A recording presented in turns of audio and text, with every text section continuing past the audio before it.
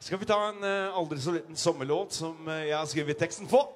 Oh, Frode. Røise har lagd melodien, og det er en låt som heter Sommerdrøm. Den kommer nå.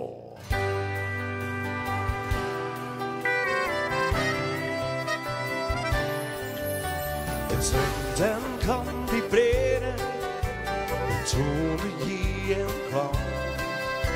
Jeg sa jeg ville mere, var noe mer på gang. Jeg følte bare glede, og timer var det nytt.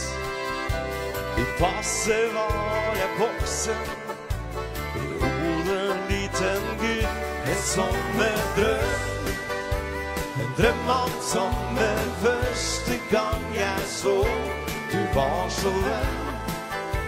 Du satt og spiste jordbær fra et strå, en hånd i min. Ja, vi to gikk sammen på en øde strand, en mørvelvind som tegnet hjerter i sand.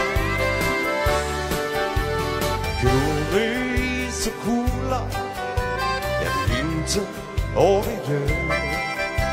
En løvetann i sola, vindpust tok et frø.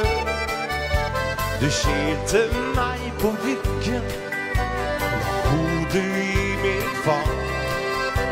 Og fra en by i skygge kom det en vakker sang. En sommerdrøm, en drøm av sommer første gang jeg så du var så rød.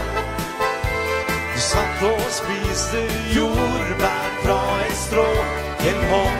Da vi to gikk sammen på en nødestrand En en virvelvind som tegnet hjerter i sand.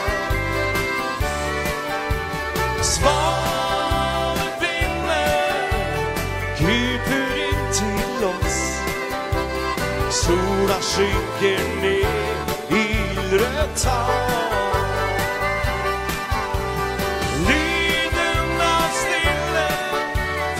Siste bryggedans.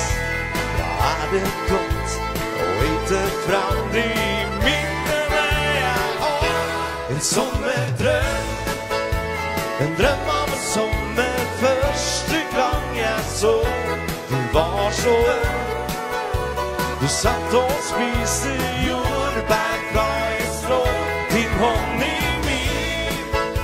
Der vi to gikk sammen på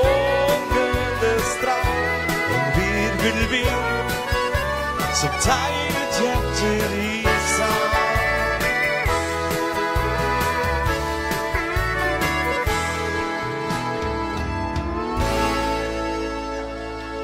Åh. En sommerdrøm på Tunøyfestivalen.